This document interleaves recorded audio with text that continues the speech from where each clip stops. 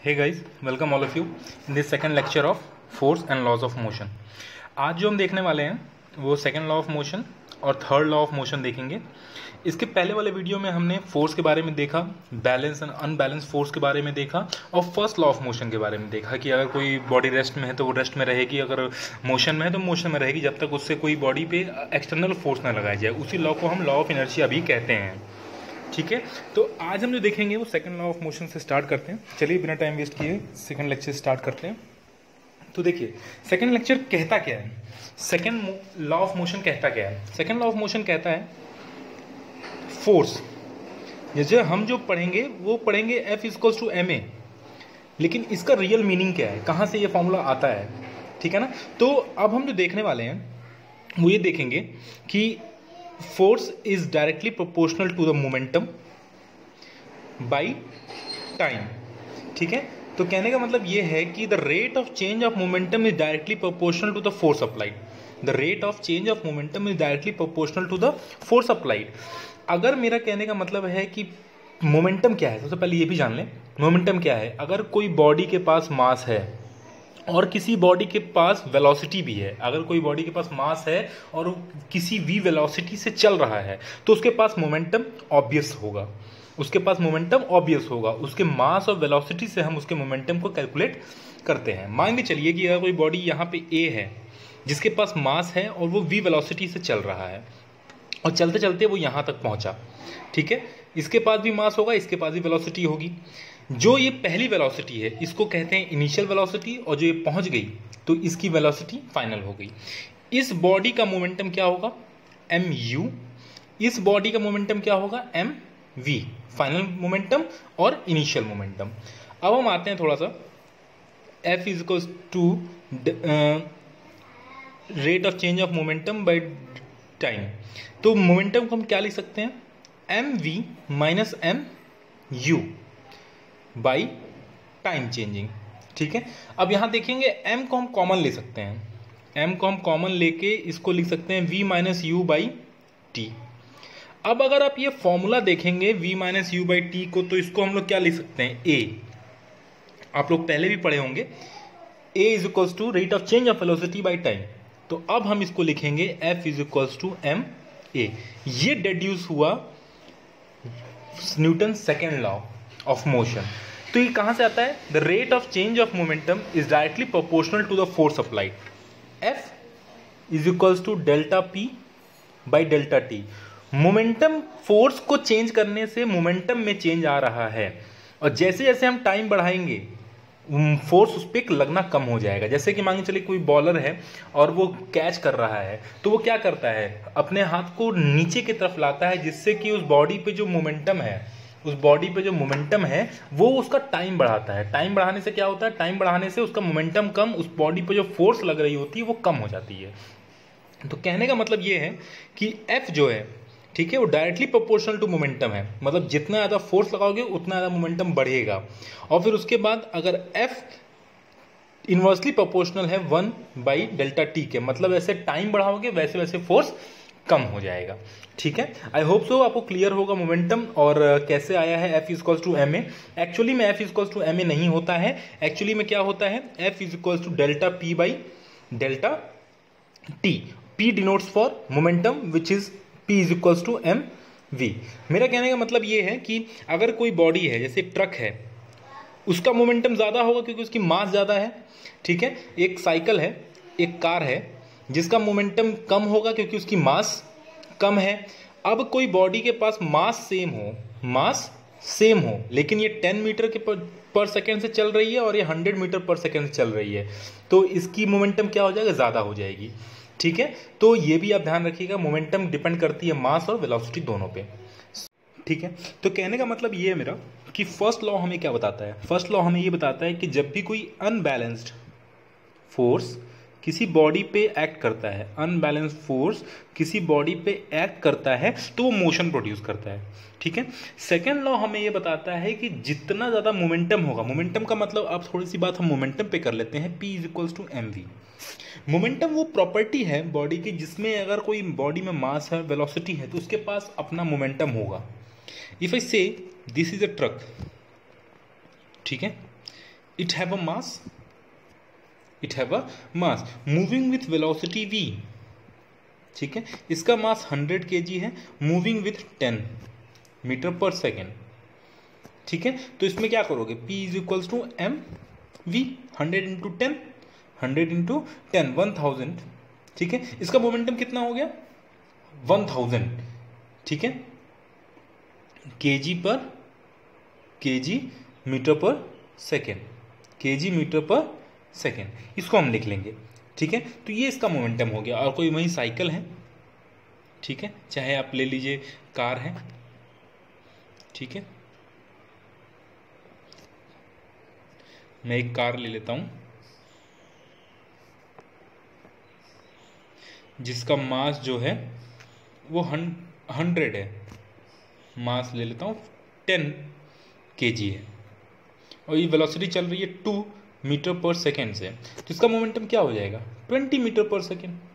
तो जिस बॉडी के पास मास है, ठीक है? जिस बॉडी के पास मास है, वो बॉडी के पास मोमेंटम होगा। और हमने पढ़ा है, force is equals to delta P by delta T भी हमने पढ़ा है। तो इस इस फॉर्मूले का मतलब क्या है? कि हम फोर्स को मतलब मोमेंटम को कम कर सकते हैं टाइम को बढ़ा के। Inversely proportional.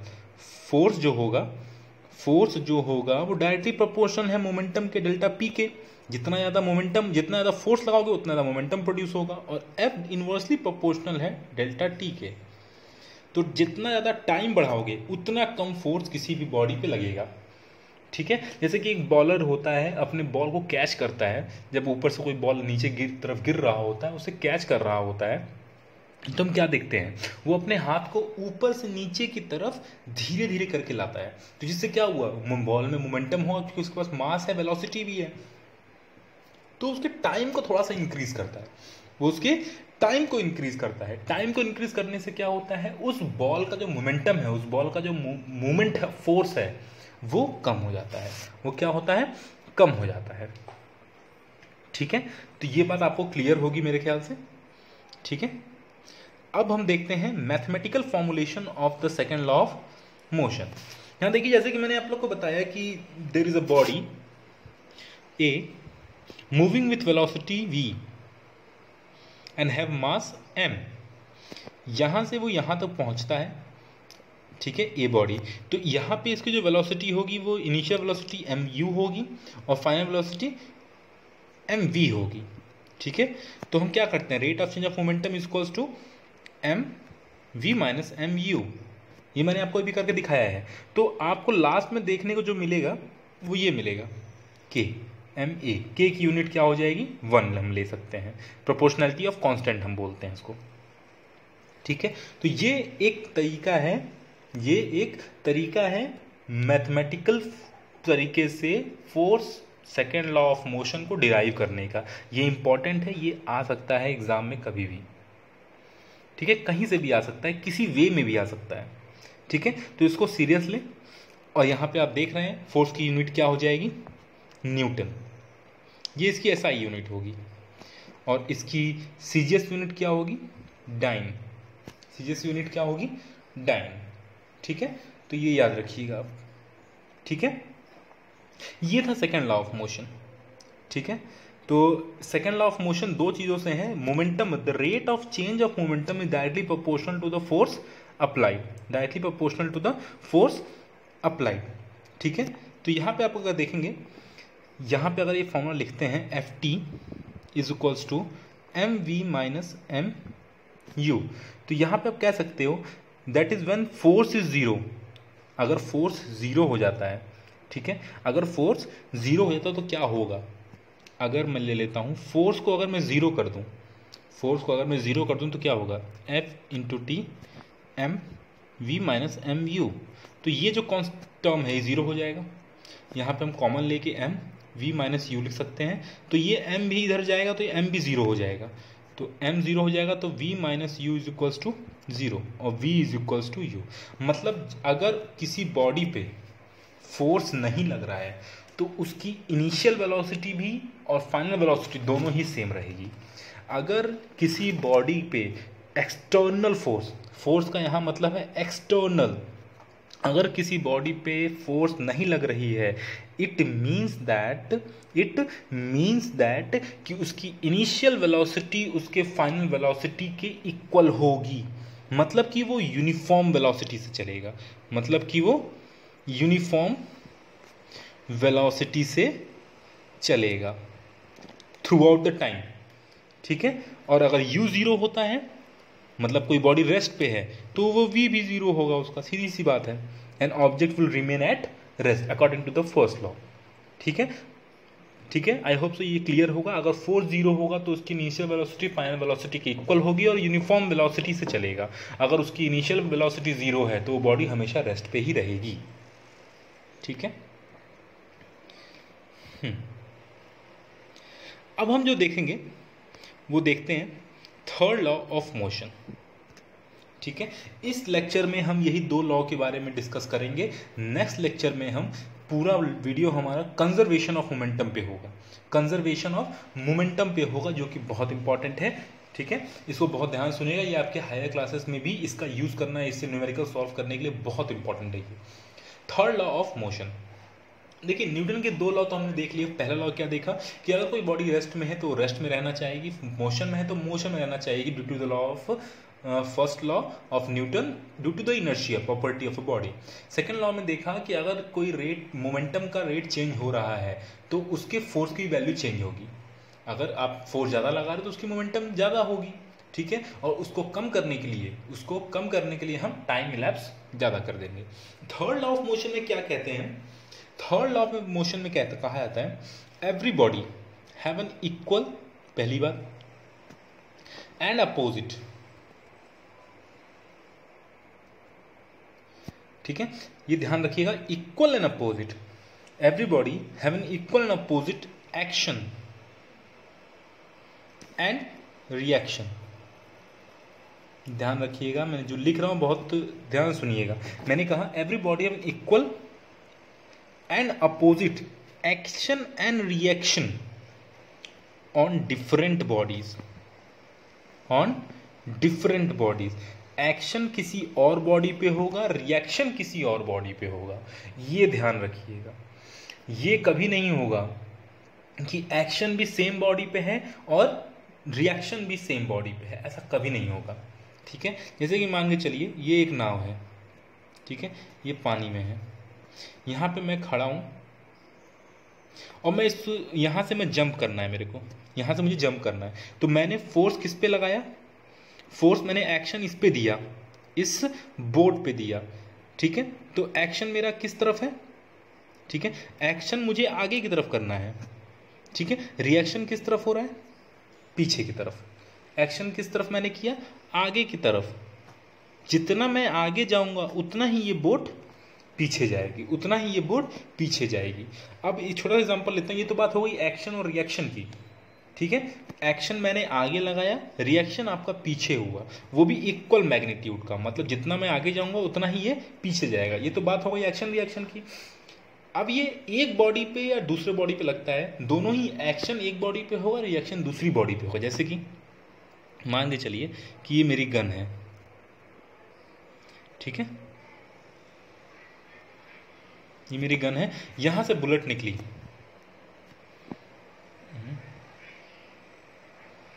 यहाँ से बुलेट निकली और मैंने यहाँ से अपने फिंगर से इसको पकड़ा है।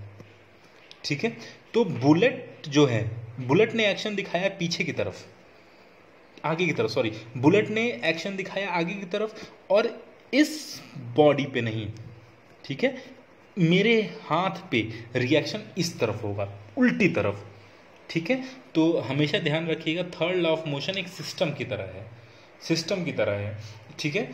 तो बुलेट पे जो लगा एक्शन वो आगे की तरफ़ था और मेरे हाथ पे रिएक्शन हुआ जो कि पीछे की तरफ़ था, जो कि पीछे की तरफ़ था। तो ये ध्यान रखिएगा every body have an equal and opposite action and reaction on different bodies on different bodies अब यहाँ इक्वल का मतलब क्या है? जैसे कि मान के चलिए ये अर्थ है, ठीक है? अर्थ के ऊपर एक मास रखा हुआ है एम ठीक है? अर्थ के ऊपर नहीं कहूँगा मैं। यहाँ पे एक अर्थ है, एक अर्थ है, और यहाँ पे एक प्लेट रखी हुई जिसके ऊपर मास रखा हुआ है एम ये एम लगाएगा इस अर्थ पे एक फोर्स ठीक है? इस मास ने अर्थ पे लगाया है एक एम का फोर्स और ये अर्थ जो है रिएक्शन फोर्स लगाएगी इस मास के ऊपर, इस मास के ऊपर एम का. ठीक है? तो ये इक्वल एंड अपोजिट जैसे कि ऑल फोर्स ठीक है? ग्रेविटेशनल फोर्स हो गया इलेक्ट्रोस्टैटिक फोर्स हो गया, ये जितने भी फोर्स हैं, ये एक पेयर में आते हैं और ये पेयर लॉ है। थर्ड लॉ ऑफ़ मोशन को हम कह भी सकते हैं कि पेयर पेयर लॉ ये हमेशा पेयर में आता है। तो एम का इसके इधर, ये एम का इधर। लेकिन देखो मास अर्थ पे लगा रहा है और रिएक्शन अर्थ पे हो रहा है। रिएक्शन अर्थ दे रहा है और एक्शन मास दे रहा है। तो ये एक्शन एंड रिएक्शन पेयर है। ये एक्शन एंड रिएक्शन पेयर है ऑन डिफरेंट बॉडीज ठीक है? आई होप सो मैं क्लियर कर चुका हूँ ये और डाउट नहीं होना चाहिए इसमें। अगर होता है तो प्लीज़ मुझे बताइए दोबारा। The first two laws of motion tells how an applied force how an applied force changes the motion and provide us with the of determining the force the third law of motion state that when one object exert a force on another object the second object instantaneously exert a force back on the first ठीक है? These two forces are always equal in magnitude but opposite in direction this force act on different object ये important है, ये ध्यान रखिएगा. Act on different object and never be on the same object object जिस पे action हो रहा है, उस पर कभी भी रिएक्शन नहीं होगा. सेकेंड ऑब्जेक्ट पे होगा reaction in the game of football sometimes we while looking at the football trying to kick it with a greater force collide with a player of the opposite team. Both feel hurt because each applies a force to the other. आप लोग खेलते भी हो, तब भी देखा होगा अगर दोनों तरफ़ से दूसरे दौड़ के आ रहे हैं और चोट लगती है, दोनों को लगती है, क्योंकि दोनों ने एक दूसरे के ऊपर फोर्स अप्लाई किया है। ठीक है? दोनों ने ही एक दूसरे के ऊपर फोर्स अप्लाई किया है। ठीक है? ये रिकॉइलिंग ऑफ़ द गन है।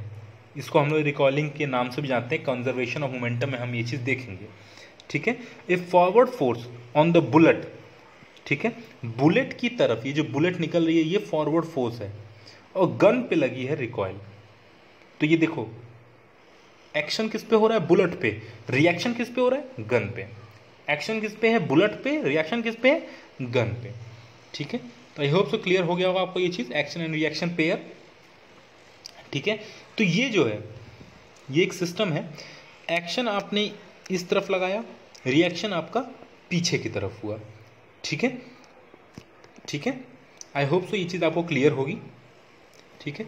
तो ये जो टॉपिक है Newton first second law Newton third law ये आई होप सो क्लियर हो गया होगा। In the next video I will take conservation of momentum जिसमें आपको Newton third law Newton first law Newton second law तीनों का combination आएगा।